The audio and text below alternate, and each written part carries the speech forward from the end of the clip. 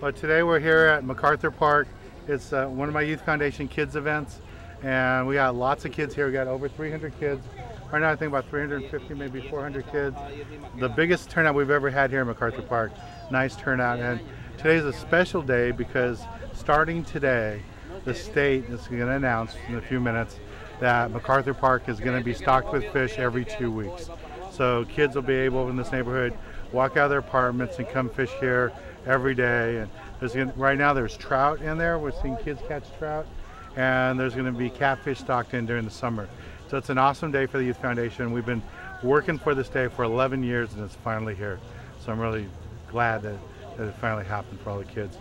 So let's walk around a little bit and see people catching fish. There's a lot of fish being caught, and uh, let's see what's going on. I think this one's just getting bit right now. Getting bit right here.